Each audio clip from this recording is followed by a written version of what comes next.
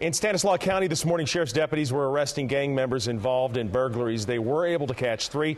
One got away. The county's gang unit was in on the burglary bus, but that gang unit will soon be disbanded because of budget cuts. Gang activity continues to go up from drive-by shootings to murders. Yet the sheriff's department will have to take some of those deputies from the gang unit and put them back in patrol cars. And that means follow-up investigations, warrants, and surveillance will all come to an end. KCRA 3's Rich Ibarra now on this latest setback in the war on gangs.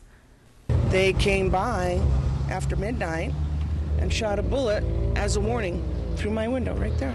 Susie Max knows firsthand about the gangs and the terror and the violence they bring to the neighborhood. In different parts of the county, gang shootings are frequent, and so too are threats to neighbors. And that's what happened to my friend.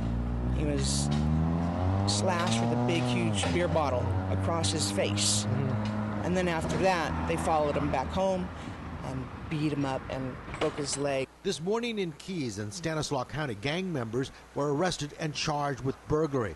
It's not just gang members shooting it out with rival gangs who are the victims.